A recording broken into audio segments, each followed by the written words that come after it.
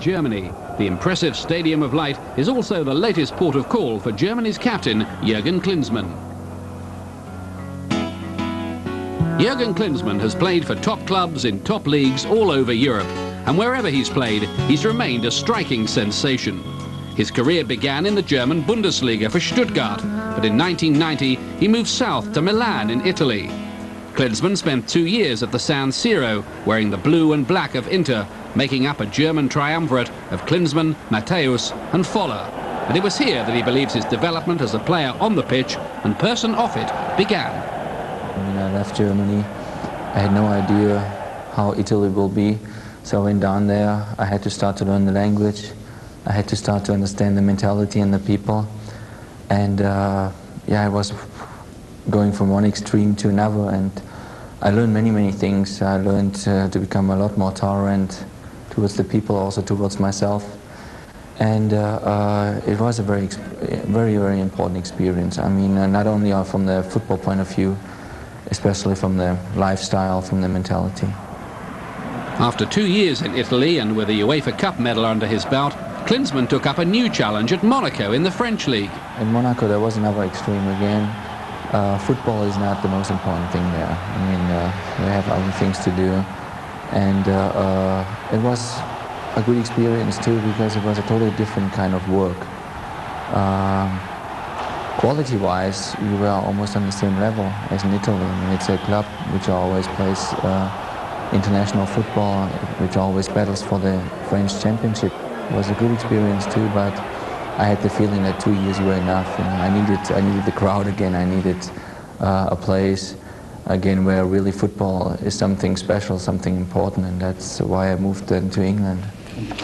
In 1994, Klinsmann joined Osvaldo Ardiles at Tottenham. In England, a reputation preceded him as someone with a penchant for theatrical falls in the penalty area. At his first press conference, he diffused the issue superbly. Uh, sorry, maybe I can, I can ask you a question. I just wanted to ask if there's any diving school in London. But Klinsmann wasn't diving when, on his Premier League debut, he was involved in a clash of heads with Sheffield Wednesday defender Des Walker. As he was carried off, the incident left him bruised and concussed.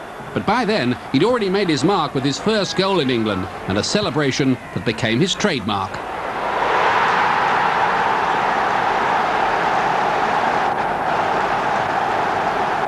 And a good start just got better.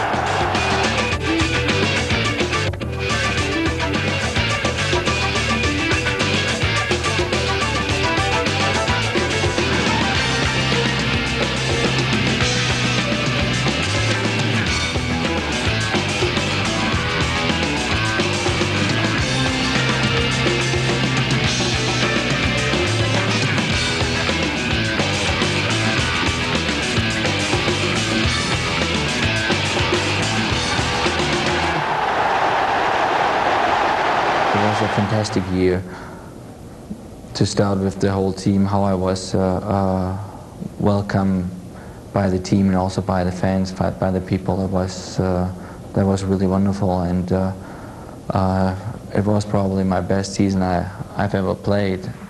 A great season was made unforgettable when he picked up the prestigious Footballer of the Year award. But despite his success, Klinsmann only stayed one season at White Hart Lane before bidding an emotional farewell. I mean, it was, it was a wonderful experience and uh, I just remember my last game at White Hart Lane.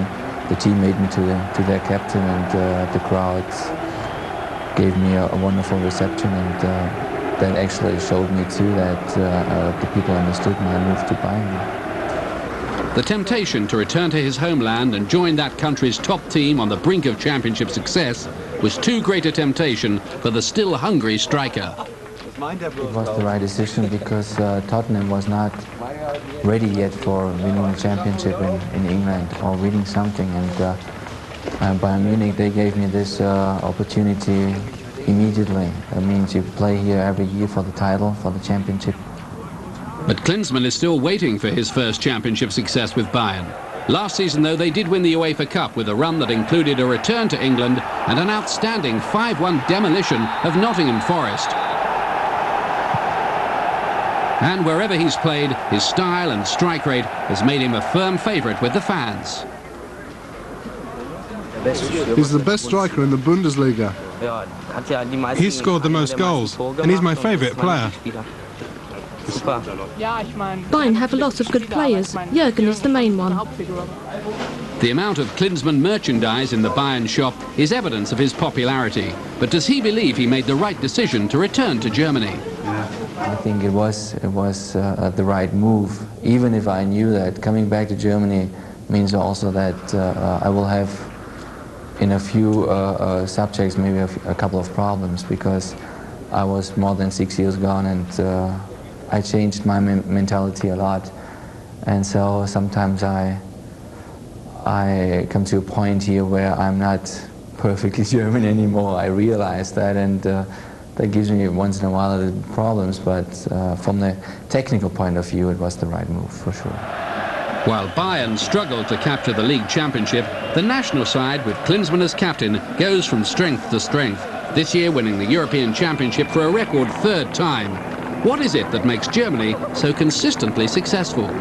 Maybe uh, we're technically and tactically too not on a top level like, like Italy or like France, for example, but uh, we have a, mentally a very strong side, and we have players, individual players, that are always able to make the difference on the pitch.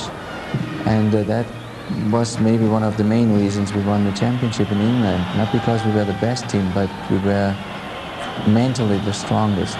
We always believed in us, in ourselves, and uh, uh, we never we never give up.